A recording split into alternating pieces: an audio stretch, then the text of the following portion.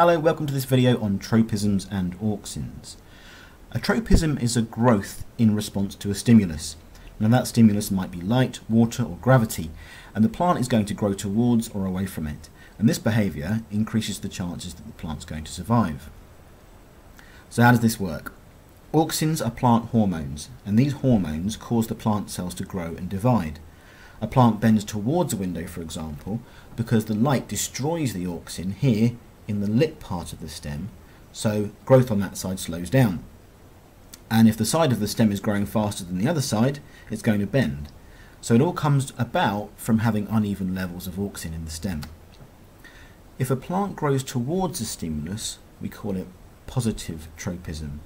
And if the plant grows away from a stimulus, we call it negative tropism. And in this case, the stimulus is light, so we're looking at a positive phototropism. Charles Darwin's well known for the theory of evolution, but something not well known to many is that he was also very into his botany, into the study of plants.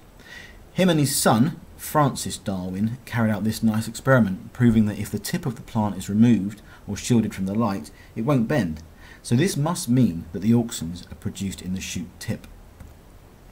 Here's another example of auxins at work. This is called thigmotropism, and it's where the plant coils these tendrils around an anchor point and uses them to pull itself up towards the light. Let's have a look at an example of phototropism. Here's a really nice video of cress plants moving towards a light source. If you throw a handful of seeds onto the soil, they obviously don't all fall the right way up. So if a seed falls upside down or sideways, how does it end up growing towards the sun? Well, the auxin moves down to the base of the shoot.